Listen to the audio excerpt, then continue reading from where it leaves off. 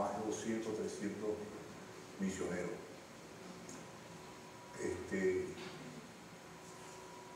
en ese entonces fuimos hasta San Luis de Potosí, eso está en la frontera con, con Estados Unidos. En ese tiempo 17 años, 17 días, perdón, este, con ellos allá, visitando varias ciudades. Yo iba como acompañante con el hermano Guadalupe, que era mi pastor aquí. Eh, llegado el, el año 72, entonces lo acompañé, iba él, el hermano Carcandelario, con la esposa, la esposa del hermano Galdona, hermana Lila, y la hija Saraí, y el hermano Bermúdez. Fuimos, fui con ellos.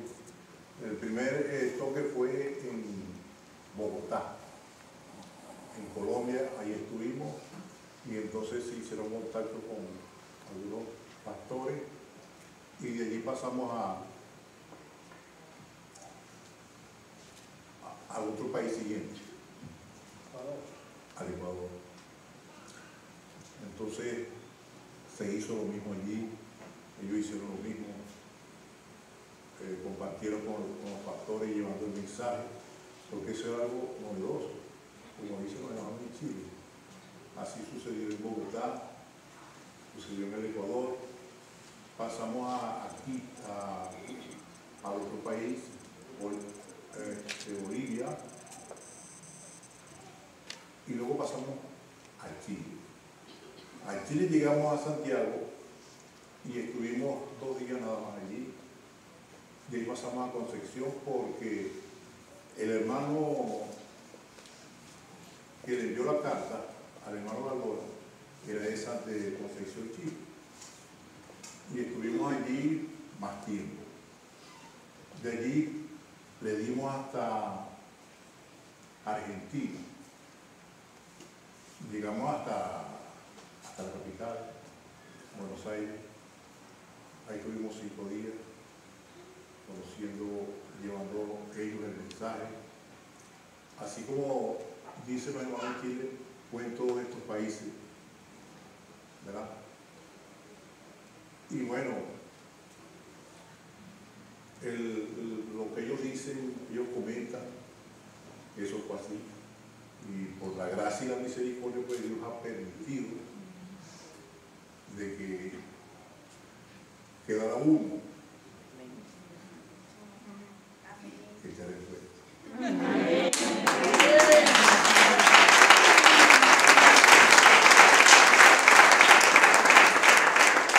Por lo tanto, este, nosotros, Venezuela, cuando llegamos Venezuela en esos países, como que llegaba Dios, llegaba Dios en esos países. Amén. Por eso ellos se expresan de esa manera. Amén. Amén. Total que para mí ha sido un privilegio, pues, yo nunca pensé que, que Dios permitió, o sea, me llevó hasta esta fecha. Todo lo demás se fue, ¿verdad? Para, para testificar y para los hermanos que, que nos, ven de otros países, estamos transmitiendo desde la iglesia pequeña Belén, aquí en Barquisimeto, Lara, Venezuela. Amén. Este, esperando que, que haya sido de agrado o algo que haya hecho yo en ustedes. Amén. Amén. Amén. Gloria a Dios. Amén. Amén.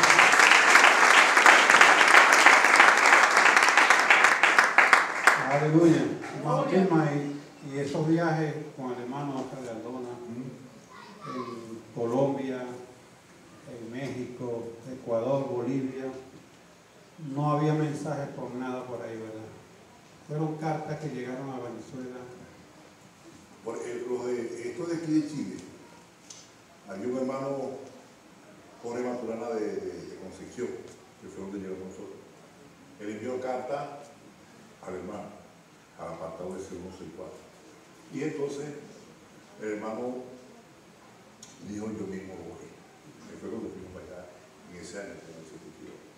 Después de, de ese viaje, se hizo una gran convención, se realizó ahí en la, en la 34,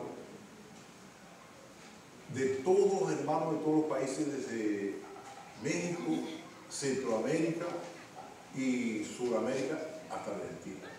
Estuvieron con nosotros aquí una semana. O sea, ellos conociendo y, y viendo el mensaje. Bueno, eso fue una fiesta. Que el eslogan fue este, lo que ha de ser para Dios, algo que se de Dios.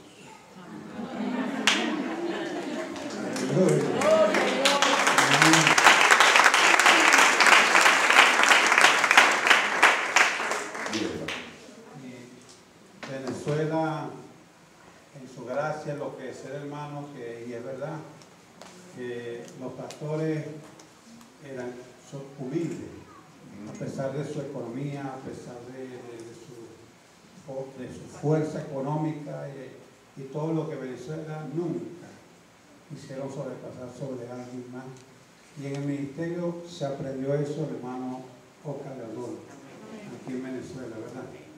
Y la experiencia de esos pastores cuando llegaron a Venezuela por primera vez, Es, es como, el, por ejemplo, el hermano que algunos lo conocen, el no sé, muy humilde, muy pobre. Y ese llegaba recibió, recibió en mi casa y me decía, lloraba.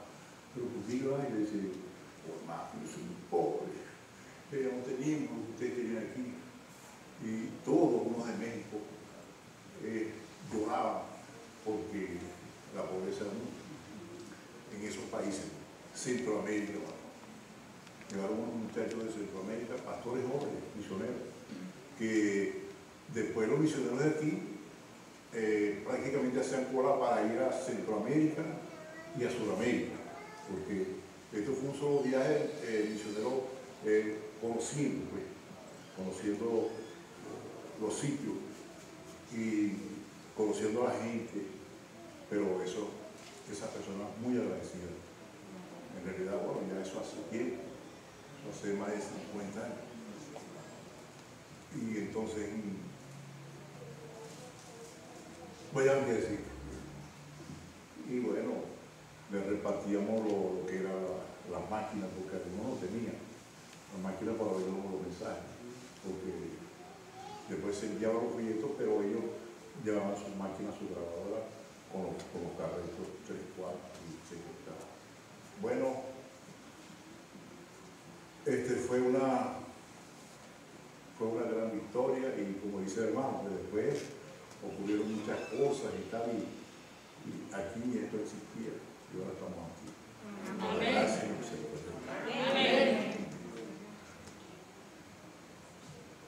amén. Ah, que por la transmisión para. Amén. ¿Alguna pregunta, hermano? Sí, también válido. Amén. Aquí. Si hay alguna pregunta, todavía tenemos un testigo vivo, hermano. Amén.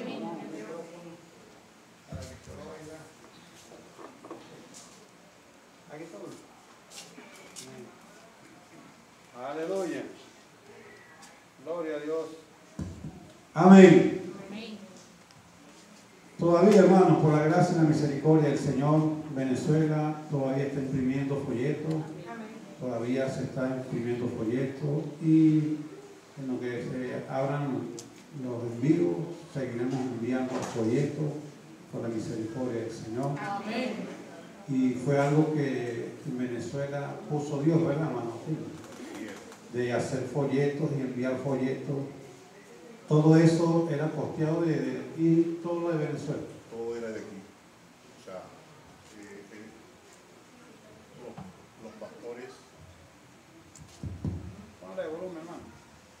eh, los pastores, las todo salía de aquí, de aquí de nosotros mismos, para ayudar a la gente. Esa era la, ma- la manera de ayudar fuimos a rescatarlo allá, llevar el mensaje y entonces había que enviarle el, material.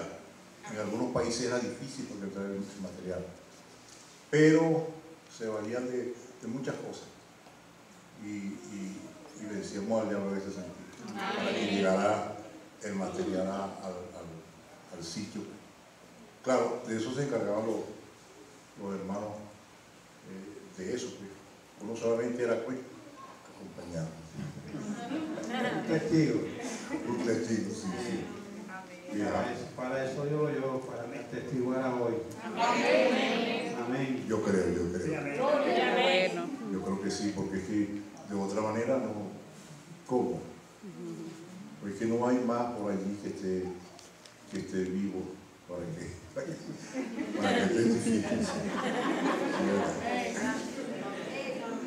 Bueno, y lo hacemos como, como, como dice, dice el hermano, con la misma humildad, porque es que Dios haga una persona y no no no, anda tú. Él es el que hace, Él es soberano. Él hace como Él quiere. Dios es demasiado Dios. Qué bueno. Aleluya. Amén. Bueno, si, si no hay otra pregunta, entonces.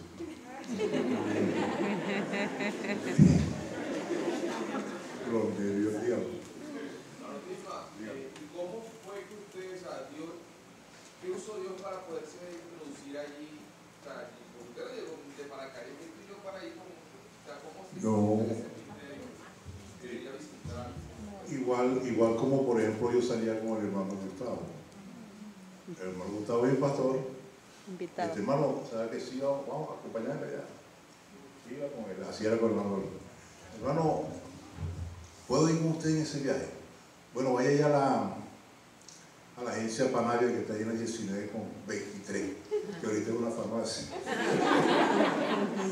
y dile que va de parte de mí para que, para que te den el pasaje. Yo iba a hacer la diligencia, comprar el pasaje y, y me iba a poder. Amén. Amén. Fue en dos oportunidades. Esa vez para México y después para Sudamérica. Amén. Amén. Y el hermano Tirma, cuando nosotros fuimos a Mampararí, le preguntó, bueno, yo no allá con quién ir. Y Tirma se ha reconciliado porque el hermano Tirma se había apartado y, y- y- y estaba aquí atrás. Y yo estoy en un culto de oración y él se pone a hablar con Franklin, su hermano, Chegaray. Y yo estoy en la oficina y una voz me dijo, ¿y no le vas a hablar a Tirma? Salí de la oficina, me fui para, para allá y comenzó a hablar con él y ahí se reconcilió con el Señor. Amén. Y cuando fuimos a Mapararí, no hallaba con quién ir. Yo creo que así fue que Dios introdujo a Tilma. Y una voz me dijo, llévate a Tilma. Dije, Tilma, ¿me puedo acompañar? Sí, vamos. Listo. Cuando ya hacía el primer programa de radio, no hallaba quien hiciera el, el, el jingle. Yo buscando quién me lo hiciera, busqué una- un locutor y nadie me lo podía hacer. A la última hora ya no había cómo buscar a más nadie, me tocaba que yo fuera a ver por primera vez en una radio. No haya quien me llamar, llamé a Tilma. Y con su voz de locutor me hizo la introducción. Ajá. Entonces, yo creo que así Dios en su gracia lo introdujo. Desde el principio Jesucristo es el mismo de ayer, hoy y por todos los siglos. Amén. Amén, bueno, Después de 50 años, la historia nos recuerda. Aleluya. Y le decía el hermano Tirma, la historia siempre nos va a recordar. Gracias. Como bueno como malo. Así es, así es, así es. ¿Verdad, hermano Tirma? Siempre. Y le damos gracias al Señor por la misericordia de Dios. Y bueno, tenemos al hermano Tirma aquí por la misericordia del Señor. Amén. Y solo hay un propósito, y así es que Dios dice. Como dijo él, tú no, tú no, tú. Amén. Así es. Sígueme tú. Sígueme tú. Había mu- muchos como usted, pero Dios le dijo, sígueme. Y usted está aquí porque Dios le dijo, sígueme. tú. Amén. Sígueme tú. Amén. Así es que Dios hace, hermano, y lo que nos llamó es lo que no servíamos. Ajá, porque había me- mejores personas con nosotros y nos miró entre todos los, entre todos los medios, medios buenos, agarró el más malo. síganme usted, síganme usted, ¿verdad? Así es, así Y así hace Dios las cosas. Así que hermano, que el Señor me les bendiga. De todas maneras, eh, todavía tenemos de repente bajo la presión y la cosa, pero sí nos gustaría que el hermano Tino nos grabara un testimonio y nos quedara grabado ahí, ¿verdad?